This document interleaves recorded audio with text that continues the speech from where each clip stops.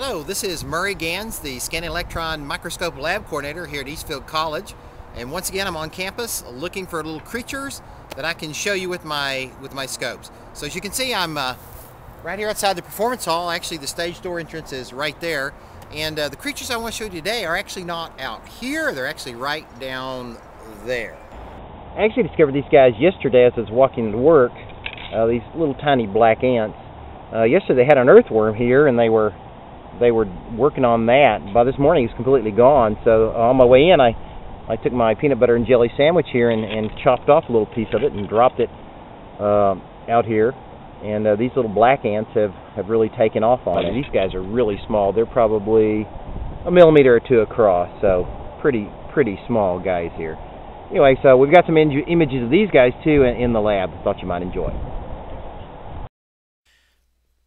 Well, now we're back in the lab. We've got our little friend from outside under the dissecting scope, and you can clearly see the uh, three parts of the insect body. You've got the head, the thorax, and the abdomen. You can see we've got six legs here and nice little segmented antenna. Let's take a little bit closer look at uh, at the head of the ant here. One thing you'll notice is the uh, the eye. The eye appears to be made out of many parts, which it is. It's called compound eye, not like our eyes, which are simple. Uh, and then the ant has these segmented antennae here, and those are going to be really important because the ant really doesn't doesn't do much with vision, but does a lot with smell. So now let's take a look at the ant with the scanning electron microscope. So here's our first view of the ant. I, I really like this picture. I think it came out really, really well. You see magnification of, of 44x here, and you can see now the compound eye. You can clearly see the little parts that make up that eye the antenna here, and then I want you to notice that there is a series of holes that run along the side of the body of the ant. Those are called spiracles, and those holes are uh, what the ant uses to breathe. It doesn't have lungs like we have. Instead, it has a series of tubes called trachea that run throughout its body, and air simply diffuses in or out for respiration. This magnification, by the way, is 44 times larger than, than life.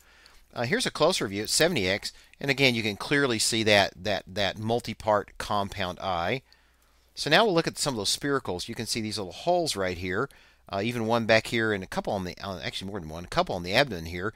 Now the next picture is very odd. that's one reason I actually included it because it is so weird. We're actually going to look up underneath the ant like this. We're going to flip him on his back and see what he looks like underneath. Uh, so here's a magnification of 650x. Very bizarre. Looks like a some sort of strange creature with a really large nose. But you can clearly see those those spiracles here. You can see the little flexible connection that connects the body parts. This is, uh, again, the ant on its back looking at the mouth parts at 110 time magnification. If you're something the ant's going to uh, be attacking or eating, this is not a view you want to see. That's pretty much the last thing that you would see if you were a peanut butter and jelly sandwich, shown here at 316 time magnification. So now let's really focus in on those antennae. The antennae are segmented, and the end of the antenna is, is enlarged. And along this end right here are some, some specialized hairs called chemoreceptors. And those hairs specifically um, give the ant uh, hints about its environment.